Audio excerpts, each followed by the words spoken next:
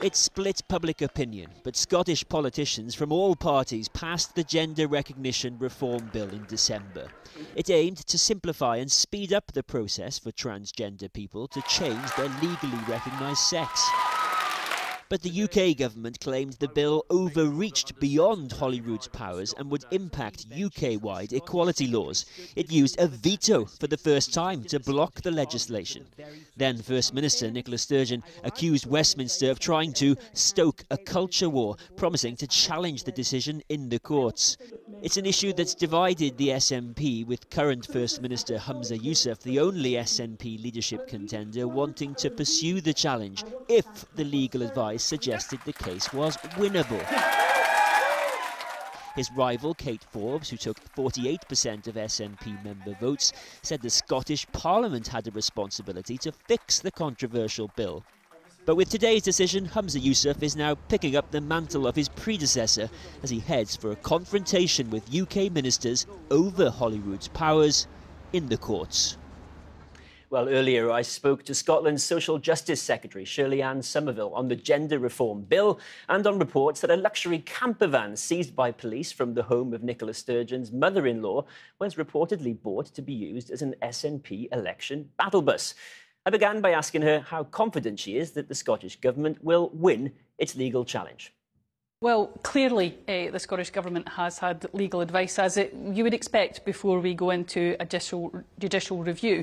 We're confident of our arguments in this case. And there's an important principle behind this when you have a, a bill that's been passed overwhelmingly by the Scottish Parliament uh, that, that should be able to become law without a veto coming in from the UK government right after that bill has passed. Because the First Minister now, Humza Yousaf, said, didn't he, during the leadership campaign, that he'd only pursue this legal challenge if the legal advice suggested you were going to win. So, simple question Does the legal advice suggest you will win this case?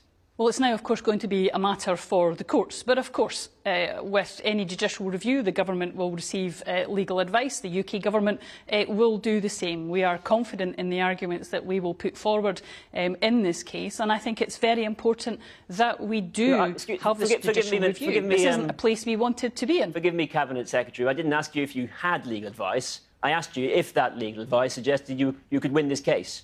Well, we're confident in the arguments that we will put forward on that, and I'm not going to be presumptuous about that as it goes uh, through court. It is now a matter for the court to look at both sides of the argument um, and for the court to take that decision, and we need to respect that process. Uh, but of course, as we move forward to this step, um, the Scottish Government has given due consideration to the other alternatives to ensure that we didn't well, get into the place of having a judicial review. Unfortunately, the UK Government has left us with no other other alternative but to do so. So this isn't a place we wanted to be. I appreciate you've just given me the same answer. You seem to be studiously avoiding the question. It was Humza Yousaf, who is now the First Minister, who said he would only pursue this case if the legal advice told him he had a good chance of winning. So I'm asking you, does the legal advice say that? Can you give me a straight answer, please? Well, of course, in all of these cases, any government, whether it's the Scottish Government or the UK Government, will have legal advice. We're confident in the arguments we'll take forward. But I think it's very important, as a government,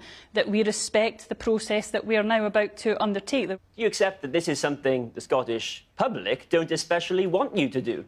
Well, I accept that there are differing views on the issue of gender recognition. There are different views in my own party um, on this, as indeed in all political parties, and there's different views in the, the public as well.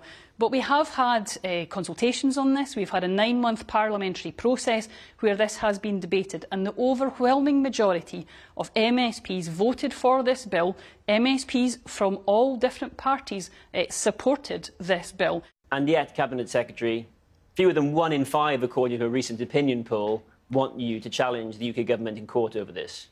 Well, I appreciate there are different views on gender recognition and on this issue.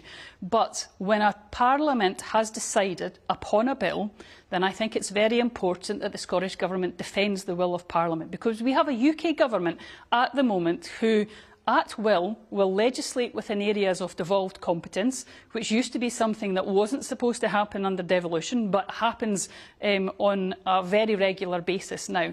And if we let the, the UK government get away with a veto, having taken no part in this parliamentary process, having suggested no amendments either during the parliamentary process or after, if we allow them to take the veto on this, then the question must be where else they would go with, with this type of veto. Finally, do you happen to know if the SNP owns a camper van?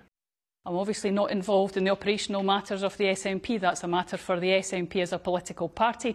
And we're determined at the time where the SNP is going through difficult times that the job of government will continue. And that's exactly what myself as a Cabinet Secretary and all my Cabinet colleagues will continue to do. Cabinet Secretary Shirley-Anne Somerville, thank you so much for speaking to us. Cheers. Thank you. Thank you.